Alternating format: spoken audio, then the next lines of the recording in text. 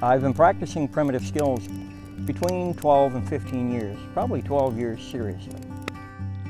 Norman Cook is an adept primitive skills enthusiast who spends as much time in the wild as most of us do at work.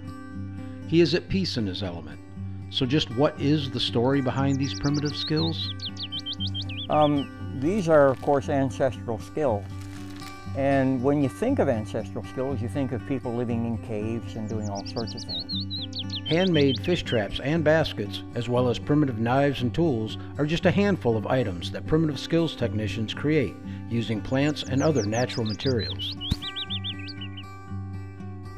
That's how, that's how they lived their daily lives, and to rub two sticks together or to break a rock was as natural to them as us to pick up a screwdriver or, or a pick.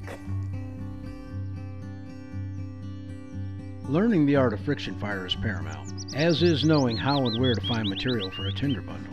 The hand drill fire is the most difficult to master, but doing so brings a great sense of accomplishment. Actually, I taught friction fire for about 10 years before I was able to get a hand drill fire. And I really don't feel that you're a skills technician until you can handle uh, a hand drill fire.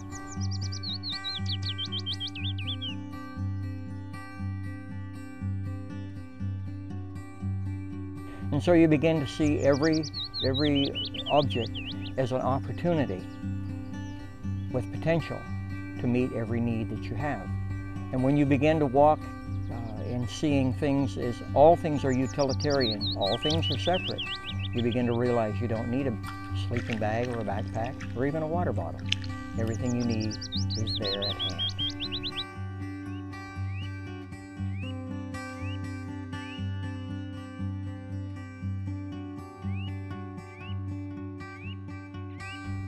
After a day in nature of being fully aware, if I come back and use my skills, I find that they, they function better.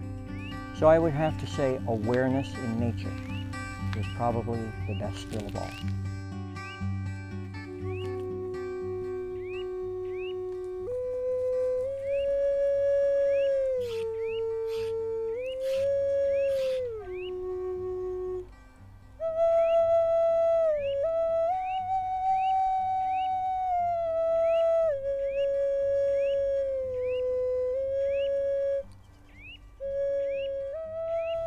If I were asked who could learn and practice the skills, well, I would have to say everybody who wanted to do them. I believe that we're wired to be able to do them perfectly. It's part of our nature. Hunting, fishing, and foraging are just a small part of skills. Appreciating nature and understanding she has everything essential for survival if you are willing to take the time to learn.